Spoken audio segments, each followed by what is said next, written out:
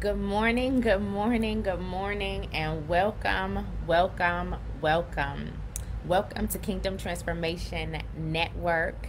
Welcome, welcome to Kingdom Transformation Network's morning prayer. We are here both on Clubhouse as well as on Facebook Live. I am your host, Coach Shiyterea Jones, your spiritual midwife and I help um, powerful kingdom people change the way that they see themselves so they can live the life that Jesus Christ died for them to live.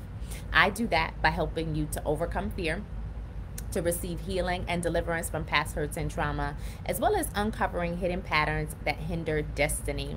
So I help you take the word of God and make it applicable to your very situation. Because when you can appropriately apply the word of God to your life, you can be effective in all that God has called you to. And so this morning, we are in morning prayer and we're just going through, uh, we're going to do a recap of the days that we have done so far. So we have done five days of prayer as we have prayed through my devotional, uh, my identity is secure, daughter of the king 30 day devotional. If you are a son of God listening to this, we are reminded that there is neither male nor female, uh, Greek nor Jew. And so I said daughter of the king because that is what I am. And so just input son of the living God in that place. And so on day one, we learned that God is good. Day two, we prayed into God loves us. Uh, day three, we prayed about the God who fights for us. Day four, we prayed about God as our exceeding great reward. Day five, we prayed about God as our shield and our buckler. And so on this morning, we're going to pray about God being a holy God because section one is all about us um, and our service to God, how it is our privilege to serve Him. And so before we get started, I would say if you know anyone who should be in the room, go ahead and ping them into this place. Um, as we press in, we're going to read the focal scripture and then we are going to um, go in and pray on this morning. Uh, we're going to read this focal scripture and just allow God to be to move in this place. We'll read the devotional and then I'll read the prayer starter and I, I will pray as the Holy Spirit leads. Uh, once we are done with prayer on Facebook, you can send me your prayer requests and on uh, Clubhouse, I'm going to invite you guys up and you can let me know what your prayer requests are and we can enter in and pray concerning those things. So, our focal scripture today comes from Isaiah 6 3 in the King James Version, and it reads, And one cried unto another and said, Holy, holy, holy is the Lord of hosts. The whole earth is full of his glory. Powerful woman, God is a holy God. God is not like the world in any way. He is superior to everything in the world because of his holiness. Holy is defined as morally and spiritually excellent. It is important for you to know that you serve a holy God so that when uncleanness presents itself before you, you're not drawn to it thinking that it came from God. God is not going to send us anything unholy wanting us to participate in it. God wants our conversation to be holy. He wants our attitude to be holy. He wants our life to be holy. Any activity that we participate in that is contrary to God's holiness did not originate at the throne of God, but it came from the realm of Satan. What ho- unholiness uh, so I, I pose a question. What unholiness have you experienced in your life that you thought originated from god? There are some things that are passed down to us generally, generationally and we accept it as a way of life but it's pure dysfunction. The dysfunctions in our lives are contrary to god's holiness and he wants us to come out of agreement with them so we can be holy like he is holy. 1 peter 1.16 there are some unholy practices that the world takes pleasure in that we may have to let go of. For example god tells us that we will give an account for every idle word that we speak. Matthew 12.36 as a blood-bought believer um, is our speech full of idle words, something we have to take a look at and examine. Words that are humorous to us but bring no honor to God. The Word of God says that our speech is to be seasoned with salt, that we may know how to respond to people. Colossians 4 6. When we have unholy or corrupted speech, we may say the first thing that comes to our minds, not seeking guidance from God and how we should respond. Since God is holy, his expectation is that we are holy. Holiness isn't difficult, it's just different than the standards that the world has. Today, we must come to terms with the truth that we have been called to be different from those around us. We have been called to be in the world, but not of the world. John 17, 14 through 19. We have been called to be holy. Today, we have to purify our views on holiness. We have to purify our view on holiness um, so we can remove the lies that say when we live a life of holiness, we can't have fun. And we have an attitude that says that we're better than everyone else. Holiness draws us closer to God and it causes us to have His heart and His mind concerning things. Holiness allows us to be kept from the evil way and to stand as a representative in the earth realm for God. God doesn't want us to be a witness for Him if we are witnessing in unholiness. God wants us to represent Him well, so uh, well when we go into the world, so that His name is not a name of reproach among those who do not know Him. Romans two twenty four. And so, thank you, Jesus, for holiness. Thank you that we live a life of holiness and walk out your standards for life. We repent from moments that we thought that you were orchestrating unholiness in our life and desiring to see us stumble and fall in sin. We repent for the times that we misrepresented you to those around us. Lord, we ask that you show us how we can live a life of holiness that represents you well wherever we go. Father, show us the unholy practices that we have in our life so that we can release them and pick up your holiness. Lord, please help us to remember daily that we are royalty. And since we are royalty, we should carry ourselves as one who knows their value and status in you. Lord, teach us your ways. Teach us how to number our days so that we will always walk up upright before you. Lord, there have been moments, oh Father God, where unholiness has overshadowed us, where people have entered into our lives and they have taught us unholy practices, oh Father God, where the dysfunctions of our families have overridden your word and the truth of who you are. But we ask now in this moment that you will reveal unto us those traditions that came from man, those traditions that are contrary to your word, those traditions that have taken us out of your very will, plans, and purposes for us. We say on this morning, oh Father, Father God, that we surrender to your way, that we want what you want, that we desire to have what you have, oh Father God, that we know that your holiness is clean, oh Father God, that we would be able to enter into a realm where we feel clean in all that we do, oh Father God. We know that there is now, therefore, no condemnation to them that are in Christ Jesus, that walk no longer after the flesh, oh Father God, that we would no longer fulfill the lust of the flesh, but we would allow your spirit to overwhelm us, that we would allow your spirit to impart into us, oh Father God,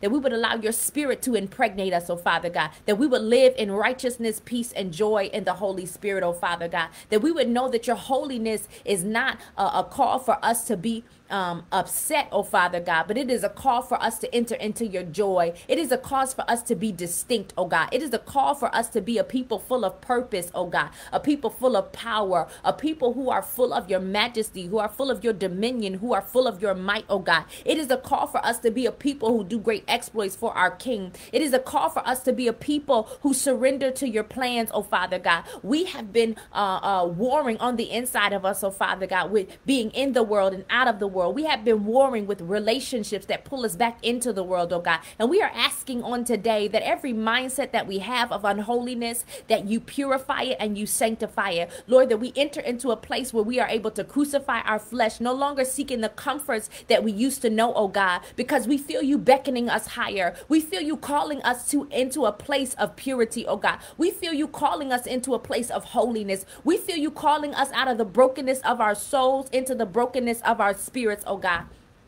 We call you, we feel you calling us into a place of holy, of wholeness, oh Father God, because your holiness allows us to be whole in you, oh Father God. We feel you calling us into your peace, oh God. We feel you calling us into your joy, oh Father God. We feel you calling us into a place of total dependence upon you. And so we repent in the name of Jesus for every time we didn't depend on you, oh God. We repent for every moment where we said that we were going to do something to honor you, oh God, and we did what we felt in the moment, oh God. When we felt felt the pressure of life around us, oh God, when we felt the weight that came upon us, oh God, we repent in the name of Jesus for allowing the things that we saw to dictate how we responded. But we enter into a place of holiness where we can be consistent before you, oh God, that in your holiness, oh God, we will be able to produce after you, oh Father God. We would be able to allow your DNA to penetrate every area of our lives, oh Father God. We would be able to be able to prosper and be in health even as our soul prospers, oh Father God. Lord, we are asking that your glory would overshadow us, that your manifest presence would enter into the midst of who we are, oh Father God, that you would even confront the very thing that is seeking to take us out, oh God,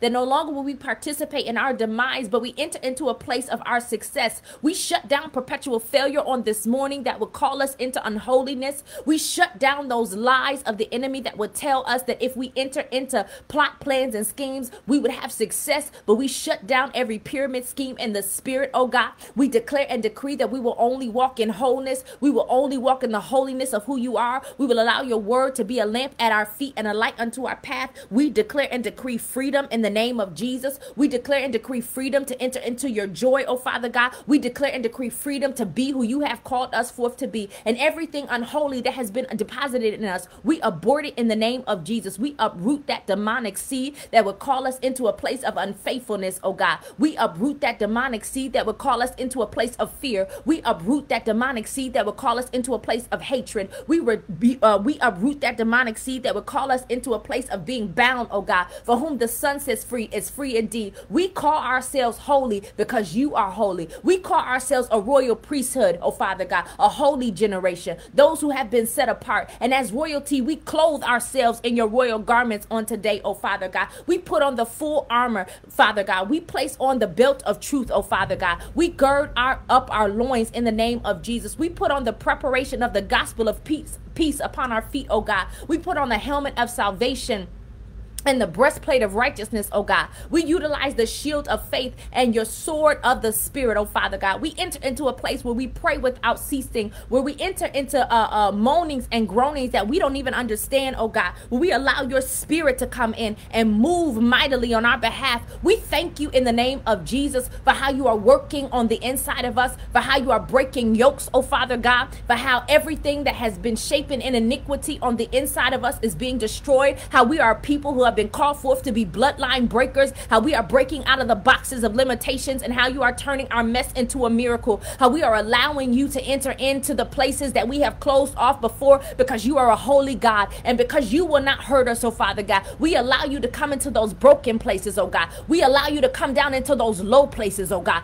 We allow you to enter into those places where there is residue, oh God. We allow you to enter into those places, oh Father God, where we have said no before, oh God. We enter into a place of yes. We enter into a posture of more. We enter into an hour of time and in you, oh Father God. Will we allow you to transform us? Will we allow you to unlock us, oh Father God? Will we allow you to restore us, oh God? Will we allow you to reframe what we have seen in this life, oh God? No longer will we allow our experiences to tell us who you are, but we will allow you to dictate who you are, oh Father God. We will allow your word to demonstrate your majesty, oh God. We will allow the truth of who you are to change us, oh Father God. We know that true transformation happens at your throne. True transformation happens in your presence, oh God. And so we are asking for your holy presence to even now be in the midst with us on today. We are asking for your holy presence to rain down on us on today. We are asking for fire to burn up everything on the inside of us that does not look like glory. We we are asking for your fire to hit us in our bellies on this morning. We are asking for your fire to purify our speech, oh God. We are asking for your fire to refine our thought patterns, oh God. We are asking for your fire to change the way we make decisions, oh God. We are asking for your fire to enter into our emotions, oh God. We are asking for your fire to relocate us, oh Father God, to transform us, oh God, to enter into the very depths of our soul because we know that your word separates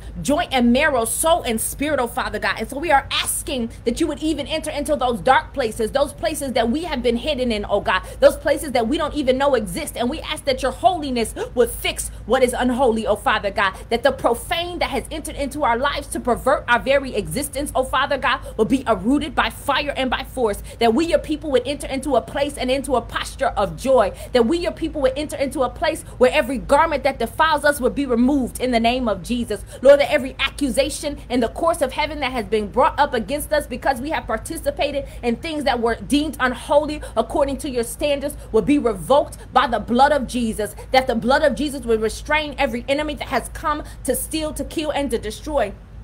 We enter into the realm of abundant life on this morning, oh God. We enter into the realm of abundant life on this morning, oh God. For whom the Son sets free is free indeed. Everywhere we, we have been bound, oh God, every shackle and every chain, we are asking you to loose us from it in this very hour. We are asking you to cause us to enter into a realm where we see you like we have never seen you before, oh God. Where we begin to see ourselves as we have never seen ourselves before, oh God. That we would see that we are a people who have been redeemed for a purpose, that you died for the very best in us. And everything on the inside of us that speaks the worst of us, we cast it down in the name of Jesus. Every time we have an unction to speak about what we cannot do, fire upon it in the name of Jesus. Every time we have an unction to say where we will not go, fire upon it in the name of Jesus. Every time we have something on the inside of us that would say because our parents didn't do it, we are inept at it. We curse it by fire and by force. We take the very sting of death out of us, oh God, because death, where is your sting? Grave, you cannot hold us because Jesus went to hell. He took the keys to death, hell, and the grave, and he rose up with all power in his hands. And so we thank you in the name of Jesus that you have dis that you have dispensed to us the very thing that you went to hell to get, oh God, that we are entering even now into a place of life where we can live a life of holiness, where we can stand on your promises, entering into your courts with thanksgiving and into your gates with praise, oh God, where we can enter into a place where we bask in your holiness, where we can enter into a place where your holiness overshadows us, where we allow your holiness to speak to us, oh Father God, where we allow your holiness to speak through us, oh God, where we allow your holiness to impart to us in a way that we have never been imparted to before, that we would even today rest in your presence, that as we go to our various destinations, oh Father God, we would allow your holiness to dictate our speech, we would allow your holiness to dictate what we eat, oh God. We would allow your holiness to dictate how we interact with people, oh Father God. We would allow you to ooze out of us, that your sticky love would touch all that we encounter in the name of Jesus, that your holiness would even be embedded in our thought patterns, oh Father God, that as we write things on today, holiness would be written out, oh Father God. Lord, we thank you that your name is written upon our hearts and upon our foreheads, and that we will be careful to give you all the glory, all the honor, and the praise. We ask that you order our steps on today, oh Father God. Enlarge our path so our foot does not slip, and allow us just to, to magnify your name in all that we do. In Jesus' name, amen. Listen, I pray that on this morning, this prayer has blessed you. On Facebook, if you have a prayer request, we I would love to hear from you. You can inbox me, put it in the comments, uh, send me that information. I would love to hear from you. We're going to be back here tomorrow morning we're going to be back here tomorrow morning at 7 a.m. Eastern Standard Time. Right now, I'm inviting people up from Clubhouse to come tell me what their prayer request is, if they have anything that they want to share from the prayer. If you on Facebook have anything that you want to share from the prayer on this morning, um, we would love to hear from you. Put it in the comments. Although we cannot dialogue like we're going to dialogue on um, Clubhouse. I would love to hear from you. If you have a prayer request, send it in. Tomorrow, we're going to be praying into, let me pull that up, what we're going to pray into on tomorrow, 7 a.m. Eastern Standard Time. We're going to pray into God being righteous. He's a righteous God. And when we begin to see Him as the righteous God that He is, it will change our lives, just as we have been um, changing our perspective on just who he is um, it's going to change how we see ourselves because we are now considered the, the righteousness of god through christ jesus and since we're considered the righteousness of god through christ jesus we have to see what that means to serve a righteous God. And so I bless you on this morning on Facebook for joining me. Um, if you, again, if you have any prayer requests, uh, send me a message, put it in the comments whatever you like to do, I would love to hear from you. And I'm looking forward to seeing you tomorrow morning at 7 a.m. I'll see you then, Facebook. Bye.